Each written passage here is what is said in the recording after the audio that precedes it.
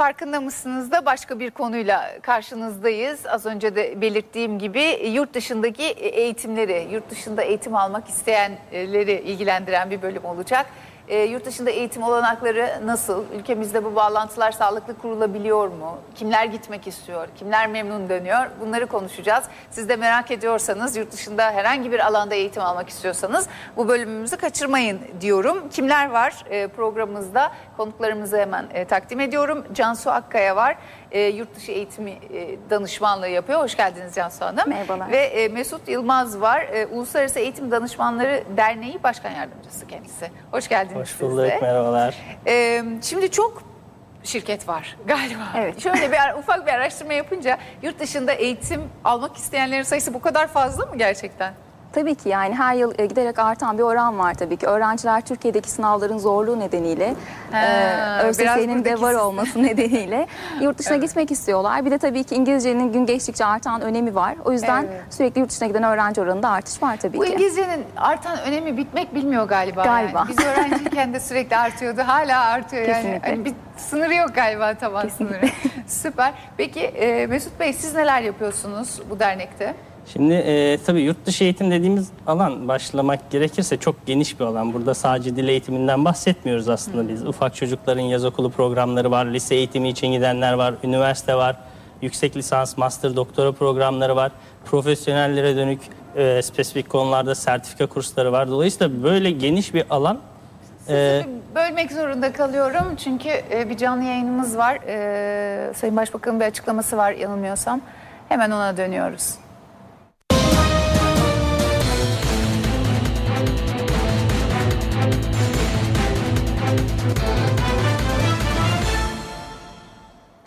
Farkında mısınız bu bölümünde yurt dışındaki eğitim olanaklarını e, konuşuyoruz sevgili izleyiciler. Kimle konuşuyoruz? Cansu Akkaya var yurt dışı eğitim danışmanlarından ve e, Mesut Yılmaz bizimle beraber Uluslararası Eğitim Danışmanları Derneği Başkan Yardımcısı kendisi.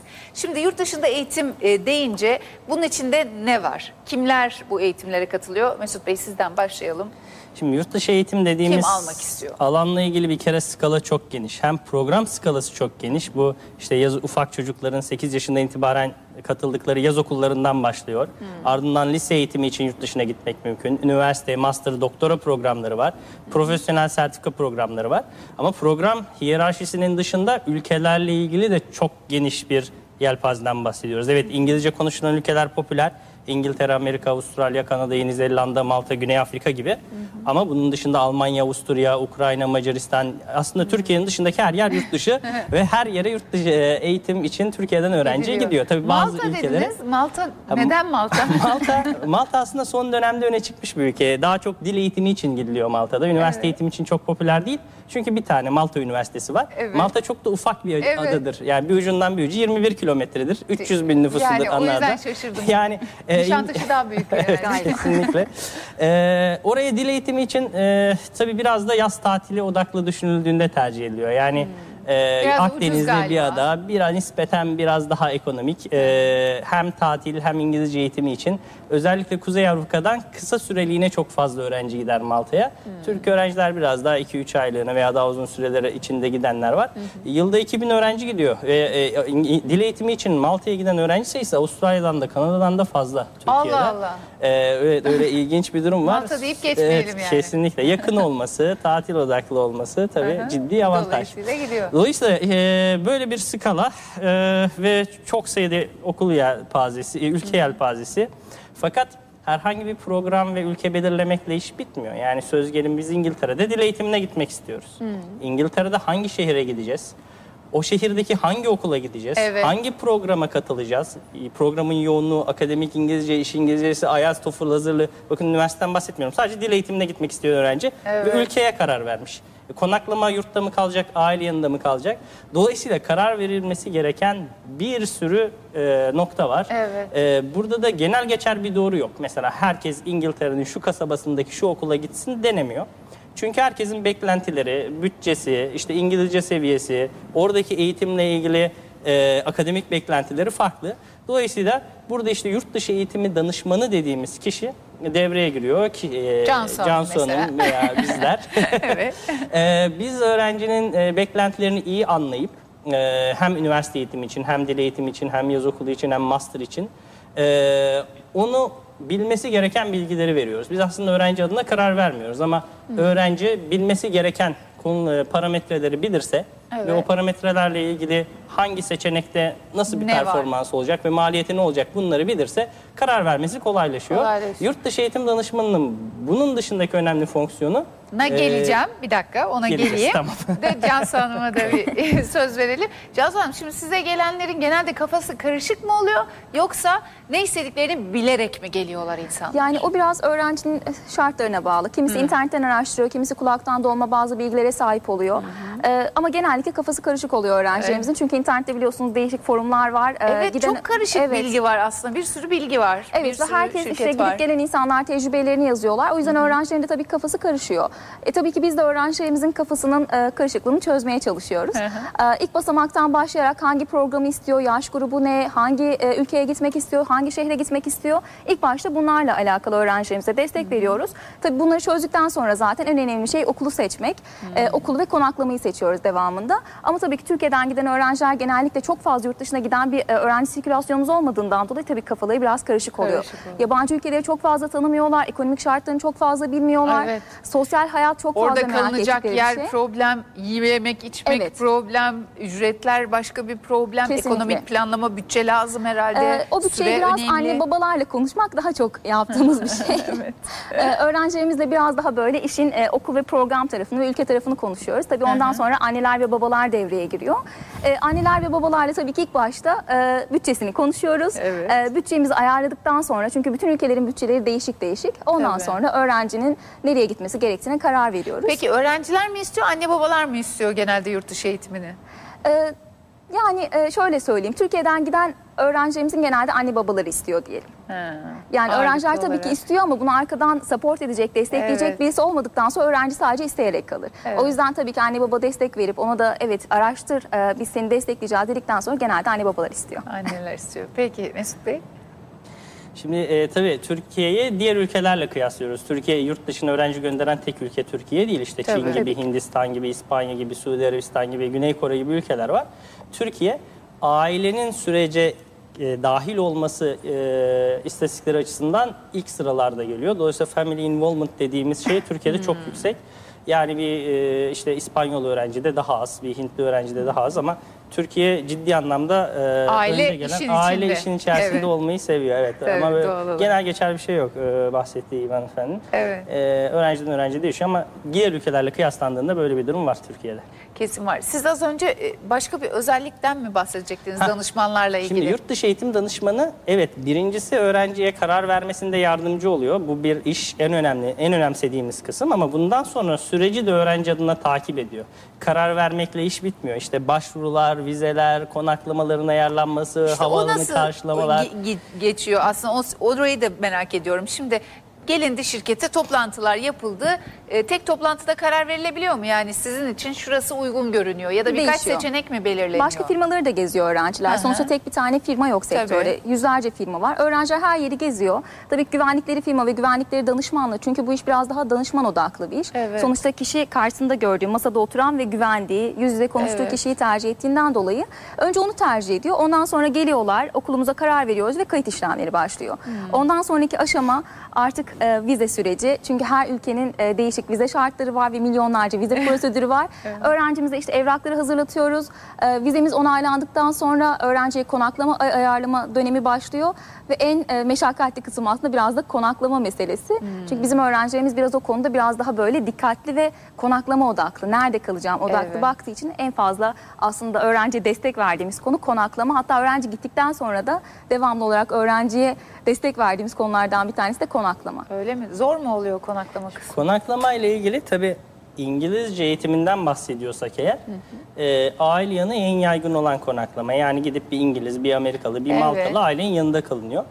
İyi aileyle iyi iletişim kurulursa da en az okul kadar faydalı olur İngilizce pratiğine ve İngilizce gelişimine öğrencinin. Ama aileyle ilgili iki temel sıkıntı var. Bunu öğrenciler baştan kabul ederek gidiyorlar. E, birincisi ailelerin e, yemek kültürleri bizden çok farklı.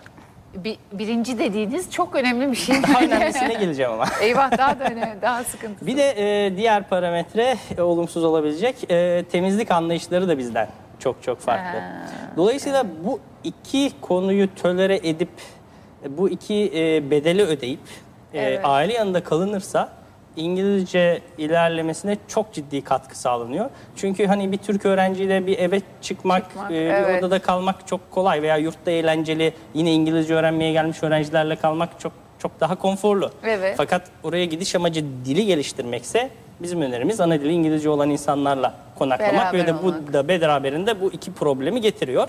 Bununla ilgili de hani yapılabilecek çok fazla Hiçbir bir şey, yok. kabulleniyoruz. Kültürel farklılıklar. Evet ama bu da tabii insanın e, ufkunu genişletiyor. Ya farklı bir kültürden, e, farklı dinden, farklı yaşam tarzına sahip insanlarla beraber yaşıyorsunuz e, yurt dışında. Bu çok farklı bir deneyim. İnsanın kişisel gelişimine, olaylara bakışına, ufkunun genişlemesine çok ciddi de katkı sağlıyor. Peki Dolayısıyla- yılıp dönenler var mı hızlıca bu aile Aa, problemleri yüzünden? Değil mi? En çok onlar Tabii ki oluyor. dönüyor. Yani anlaşamayıp Ya şimdi orada e, aileleri değiştirmek mümkün ve yurt seçeneği her zaman yine e, Ha, mevcut. açık. Yine öğrenci ev kiralayıp oda kiralayıp çıkabilir. Ama çok yani e, burada tabii kültür şoku dediğimiz daha genel bir durum var. Farklı bir ülkeye gitmenin e, sadece konaklamayla ilgili değil, oradaki her şeyle ilgili, kültürel farklılıkla ilgili kültür şoku dediğimiz bir e, şeyle karşılaşıyor öğrenci. E, bunu aşmak biraz zaman alıyor. Biz öğrenciler hani ilk bir hafta sabredin, Hmm. iki hafta geçtikten sonra yavaş yavaş orası sevilmeye başlanıyor. Bir aydan sonra dönmek istenmemeye başlıyor. He. Orada kritik bir eşik var. Üçüncü geçmesi hafta. lazım. Evet, onu o kişiden kişiye ve gittiği yere göre değişir elbette ama o eşik aşıldıktan sonra artık orayı benimsiyor öğrenci. Benimsiyor. Daha konforlu hale geliyor. Peki e, Türkiye'den en çok özellikle yabancı dil eğitimi için hangi ülkeler tercih ediliyor? Türkiye'den en fazla İngiltere'ye gidiliyor. Türkiye'den 130 bin hafta öğrenci gitti geçen sene. Türkiye İngiltere'ye dil eğitimine en çok öğrenci gönderen dünyada dördüncü ülke oldu. 130 bin 130 bin hafta.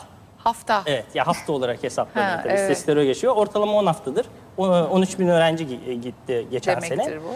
Ee, ilk üçte Suudi Arabistan, Güney Kore ve İspanya vardı. Türkiye dördüncüydü. Dil eğitiminde dolayısıyla biz en çok İngiltere'ye gidiyoruz. Ee, üniversite eğitiminde ise en çok Amerika'ya gidiyoruz. Evet. Ee, Amerika'da da e, yaklaşık 12 bin civarında her yıl üniversiteye giden öğrenci sayısı Türkiye'den. Ee, bu da Türkiye'yi Amerika'ya en çok öğrenci gönderen dünyada 8, 9 veya 10. ülke yapıyor yıla göre. Ee, 8. sıraya çıktık, 11. sıradaydık birkaç Bu iyi sene bir şey önce. mi? Yani, Çıktık ama. e, yani, Yani öğrencilerimizin Amerika'ya okumaya gitmesi iyi bir şey mi? Hani 8. Ya- sıraya yükseldik süper başarı falan gibi Ya, mi değerlendirmemiz e, lazım? Bilmiyorum o nasıl değerlendirilebilir ama vaka bu. E, Üniversite eğitimi dendiğinde Amerika e, bir numara. İngiltere'de ama çok ciddi bir artış var. İngiltere'de üniversite eğitiminde 4000'e ulaştı. 2000'lerdeydi 3-4 sene önce sayı.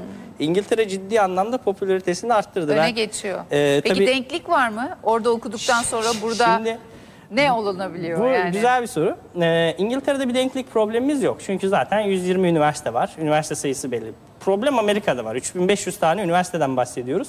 Ve dünyanın en iyi üniversiteleri de Amerika'da. Evet. Ama en kötüleri de Amerika'da. Dolayısıyla Amerika'yı tercih ettiğimizde hani yok denkliği var mı ile ilgili daha hassas olmak durumundayız. İngiltere'de 120 üniversite, %90'ında devlet üniversitesi olduğu için ciddi bir sıkıntı yaşanmıyor. Ama bizim önerimiz öğrenci git Gideceği üniversite belli olduktan sonra programla birlikte YÖK'e başvurup ben bu üniversitede eğitim alıyorum, denkliğini merak ediyorum dediğinde yazılı bir belge geliyor öğrenciye. YÖK'ten. YÖK'ten. E, Dolayısıyla Evet. o belgeyi saklıyor. Hani yarın öbür gün denklikler kalkabilir, başka şeyler olabilir. Dolayısıyla bunu tavsiye ediyoruz. Her zaman burada referans alacağımız yer danışman da değil aslında. Direkt YÖK'ün YÖK'ün kendisi, kendisi. orayla irtibat kurmalı aileler veya e, öğrenciler. Evet.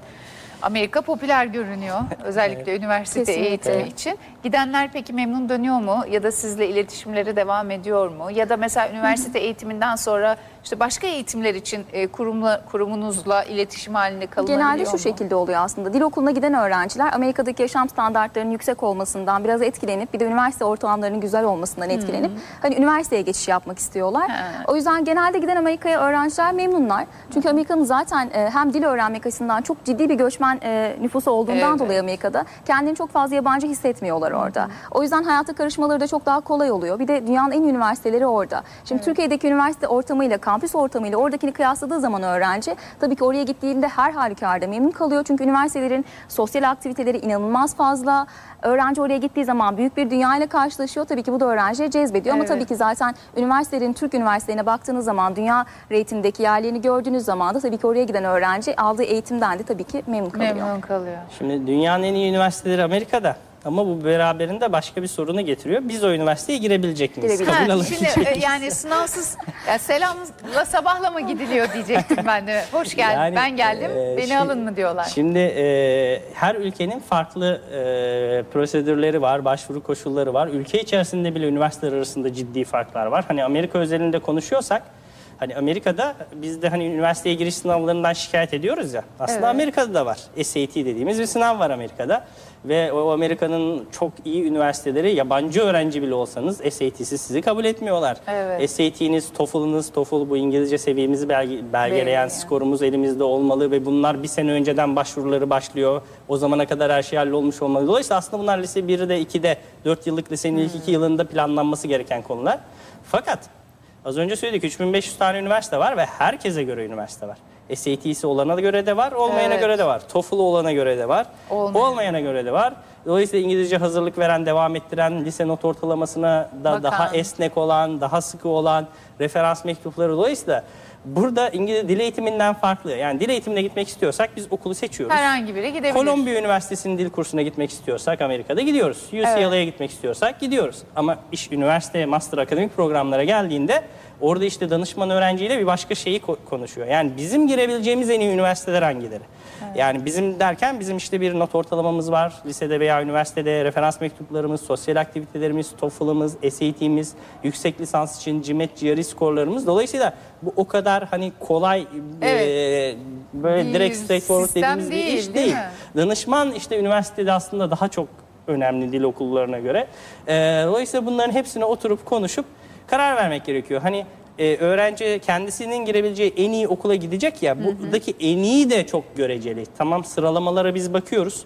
Ee, ama sıralamalar dışında okulun yeri, kampüs imkanları, maliyeti, konaklamaları, yabancı öğrenci sayıları, kız öğrenci oranı, e, erkek öğrenci oranları gibi böyle binlerce parametre var. Ne kadar detaya is- girmek istediğinize bağlı olarak.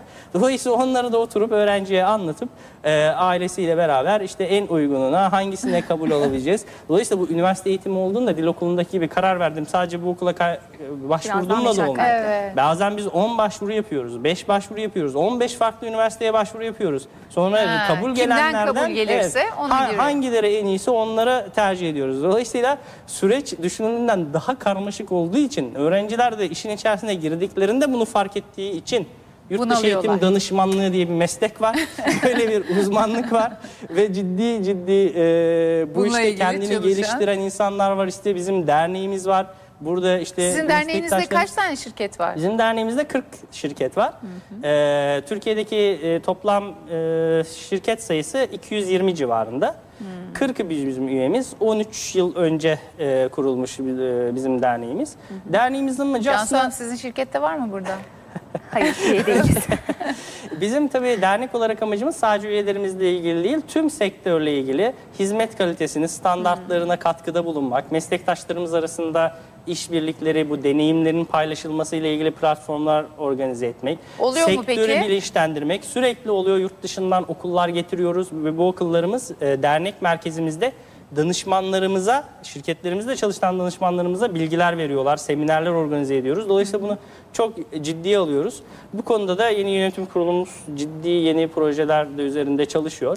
Sadece Türkiye'ye gelmeyle ilgili değil, Türk e, Türkiye'den yurt dışına gitmesiyle ilgili değil. Şimdi DEİK'le bir programımız var.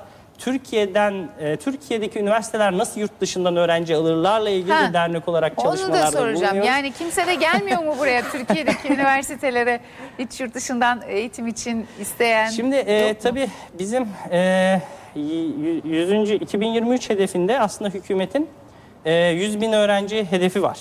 E, ve gelip burada okumasıyla gelip. Tür- evet Türkiye'ye gelmesi hedeflenen 100 bin öğrenci Evet. hedefi var. Bu anlamda hükümet ciddi anlamda vakıf üniversitelerine desteklerde bulunuyor. İşte nasıl ki yabancı okul üniversiteler Türkiye'deki fuarlara katılıyorlar.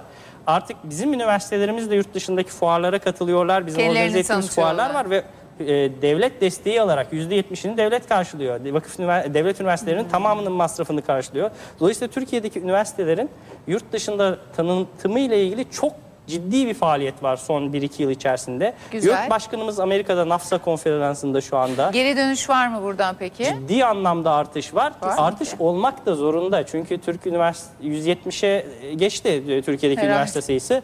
10 yıl önce bunun yarısından daha azdı. E, vakıf ve devlet üniversitesi sayısı ve e, Türkiye'deki üniversitelerde de ciddi öğrenci sıkıntısı var. Dolayısıyla bizim üniversitelerimiz de artık uluslararası aktör oldular. Yurt dışına çıkıp Hintli öğrenciyi almak için Amerikalı öğrenci, Amerikalı üniversiteleriyle, İngiliz üniversiteleriyle beraber aynı ortamda, aynı fuarlarda tanıtımlar yapıyorlar. Çok güzel. Ee, ve e, Malezya mesela bizim benchmark yaptığımız ülke en azından kendimiz açısından nüfusu bizim yarımız olmasına rağmen, üniversitesi daha az olmasına rağmen mesela onların 2023 hedefi 200 bin öğrenci. Ve şu anda 80-90 bin öğrenci civarındalar. Türkiye yanlış hatırlamıyorsam 30 bin civarında şu anda. Şu an az Ee, yani e, Ama biz bu yetişiriz anda- onlara, tahmin bu hızla gidersek yetişiriz çünkü Peki. devlet politikası haline de gelmiş durumda. Geldi. Peki Cansu Hanım, e, özellikle e, üniversite için Amerika ve dil için İngiltere ön plana çıkıyor Evet. dediniz. Onun dışında e, bu aralar yeni trend olan işte dil öğrenmek için gideceğimiz ülkeler ya da işte eğitim için e, daha rahat okuyacak, konaklayacak, e, kültürüne yakın olduğumuz ülkeler var mı ön plana çıkan? Şimdi bu sene ve birkaç seneden beri özellikle Malta zaten hem Türkiye'ye mesafe olarak yakın olması nedeniyle hem de Akdeniz ülkesi olması nedeniyle tabii ki son yıllarda ciddi Ön bir şekilde popüler çıkıyor. olmaya başladı. Zaten e, inanılmaz fazla Türk öğrenci gidiyor. Aynı şekilde Avrupa'dan da çok fazla öğrenci gittiği için öğrencilerimiz biraz e, işte Avrupalı öğrencilerle aynı ortamda eğitim almaktan haz aldıklarından dolayı Evet. çok fazla tercih ettikleri bir lokasyon. Bir de galiba dilden yani işte insanlar birbirine anlatarak bu iş biraz daha yayılıyor Evet galiba yayılıyor. değil mi? Bir de ekonomik olarak biraz daha ucuz bir ülke olması nedeniyle ve öğren iklim Tercih olarak da ediliyor. Türkiye'ye çok benzediği için çok fazla tercih ediliyor ama hani dil okulları dışında son yıllarda sertifika ve diploma programları da çok ciddi şekilde e, Öyle ön mi? plana çıktıklarından dolayı o konuda da zaten Amerika ve İngiltere yine Gene ön planda. ön yani planda. yurt dışı eğitim sektöründe aslında şöyle bir denge var. Bir sene Amerika biraz daha yükselen bir duruma geliyor, hı. bir sene İngiltere daha yükselen İngiltere. bir duruma geliyor. Şimdi e, diğer ülkelerle ilgili konuşurken bu futbol şampiyonasından sonra Güney Afrika ciddi Evet. popüler oldu. Ama Ha. o, o böyle bir rüzgar geçti. Şu anda eski popülaritesi yok. Avustralya ve Kanada'da e, öne çıkan hani farklı ülkeler. Onların en önemli avantajları da göçmen ülkeleri olmaları. Yani bahsedildiği gibi e, burada herkes yabancı olduğu için, Avustralyalı ve Kanadalı olmadığı için öğrenciler daha rahat sosyal hayata adapte oluyorlar. Daha rahat kendilerini oranın bir parçası gibi hissediyorlar. Bu da özellikle İngilizce eğitimine ciddi katkı sağlıyor. Ne kadar sosyalleşirseniz, ne kadar dışarıda pratik yaparsanız o kadar İngilizceniz ilerliyor. Dolayısıyla Avustralya ve Kanada e, her zaman öğrencilerin tercih Daha ettiği yerler olarak çıkıyor. kalacak göçmen ülkeleri olduğu için de e, böyle bir sosyal e, rahatlıkları var. Sağlıyor. Peki sizlere çok teşekkür ediyorum. Ee, bu akşam böyle biraz kısaca toparlamış olduk e, bu konuyu ama herhalde e, önemli noktalar e, anlamında izleyicilerimiz e, faydalanmıştır. E, bir kez daha bahsetmiş olalım aslında e, yurt dışına eğitimle ilgili 200 kaç tane 220. şirket? 220 220 tane şirket var. E, bunların tabii ön plana çıkanları muhakkak vardır. E, Uluslararası Eğitim Danışanları, Danışmanları Derneği de e, başkanı başkan yardımcısı olarak da e, Mesut Bey e, bizlere biraz daha anlatmış oldu. E, kalite önemli. Türkiye'de devlet desteğiyle biraz daha ön plana çıkacak gibi görülüyor. Denklik önemli, konaklama önemli. Öğrenciler ve aileleri dikkat etmeleri gereken yerler var ama en önemlisi bir danışandan tabii ki muhakkak e, tecrübelerinden faydalanmak. Sizlere çok teşekkür ediyorum teşekkür geldiğiniz ederiz. için. Teşekkür ederiz. E, böylece e, programımızı da noktalıyoruz. Tekrar buluşuncaya dek hoşçakalın. Kendinize iyi bakın.